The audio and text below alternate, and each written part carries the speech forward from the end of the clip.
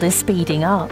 With the growth of Internet of Things, personalised medicine, and artificial intelligence, integrated circuits must become extremely small and incredibly advanced while being produced in enormous quantities. As a result, the requirements for production equipment are growing tighter, which is where the Nano Instrumentation Group steps in. Our work on ultra clean processes, equipment, and materials in demanding environments enables high yields, throughput, and scalability for our customers in the semiconductor domain. Much of this is done for and in cooperation with ASML and Carl Zeiss.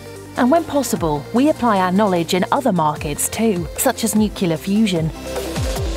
One particular success has been our better understanding of material lifetime threatening contamination mechanisms in optics. This knowledge increased the lifespan of optical components in lithography machines for integrated circuit production from several hours to several years, and made it possible, among other things, for EUV lithography to enter into mass production.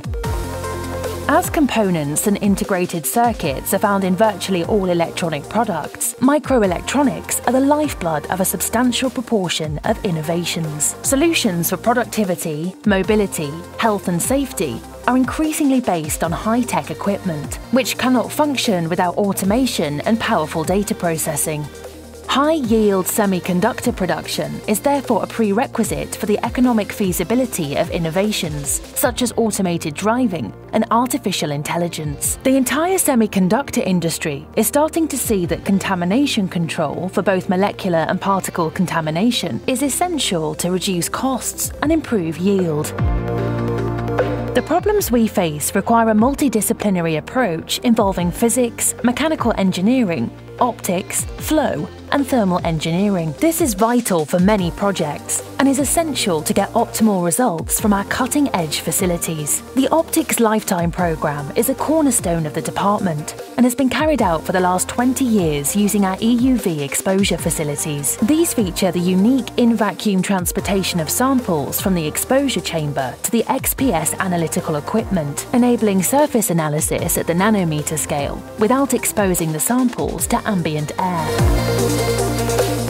Over the coming decades, the quality of our work and our extensive experimental facilities will continue to give us a competitive edge. There will be a strong drive towards further miniaturization and cost reduction in integrated circuit production, and our expertise in contamination control for both the DUV and the EUV lithography markets will be key to this development. We continue to expand our knowledge into other domains while seeking opportunities for new markets. We now also offer EUV exposure as a service service, making it easier to acquire new customers. In other words, the future looks bright for the Nano Instrumentation Group.